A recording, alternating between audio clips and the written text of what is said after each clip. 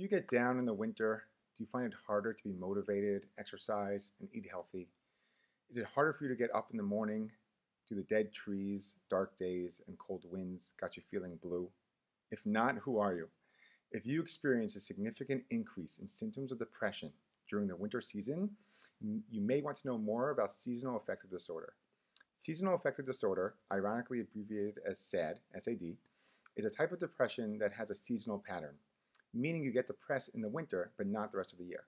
Symptoms of depression include feeling depressed most of the day, losing interest in activities you once enjoyed, experiencing changes in appetite and weight, having problems with sleep, feeling sluggish or agitated, having low energy, and feeling hopeless or worthless. So, what is it about winter that makes people more depressed? Turns out that it has a lot to do with the lack of sunlight. Human beings are influenced by sunlight, just like many members of the animal kingdom. We have a part of our brain called the suprachiasmatic nucleus, or SCN for short, which is in charge of monitoring our circadian rhythm, sleep cycle, and internal clock based on sunlight. And light that passes through our retinas is monitored by the SCN. You probably have heard of the sleep aid called melatonin. Well, that is a natural hormone that our body produces, and it's regulated by the amount of light we absorb. So when the amount of light decreases, more melatonin is produced, and it signals to our body that it's time to sleep. Melatonin also influences other functions of the body, such as our libido, sex drive. During the winter, when we are absorbing less daylight, our internal clocks are on night mode more frequently. This means that we are more prone to feeling sluggish and having low energy. It kind of resembles what happens to animals who hibernate in the winter. Biologically, it's not a good time for being productive. One treatment that has been found to be effective in treating SAD is called light therapy. Light therapy involves using a light box or a lamp that emits light at the same frequency as daylight.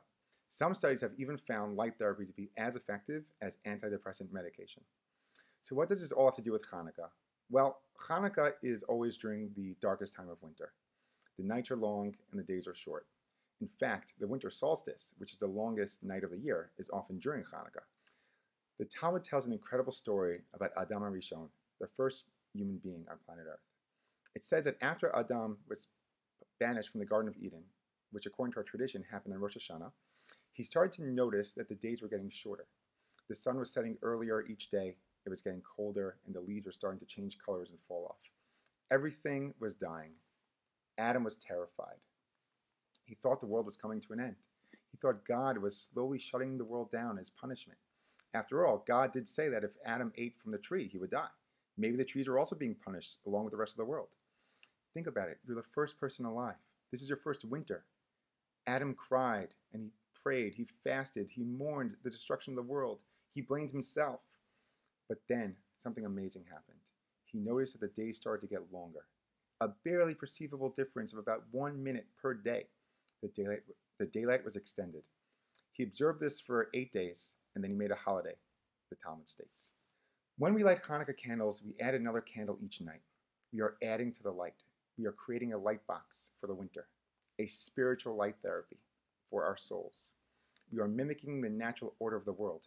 Just as the days start to get longer after the winter solstice, we add a new candle each night to resemble the increased light in our own lives. May we all merit to receive the benefit of the spiritual light of Hanukkah and to get us through the dark winter and overcome feelings of depression. Happy Hanukkah.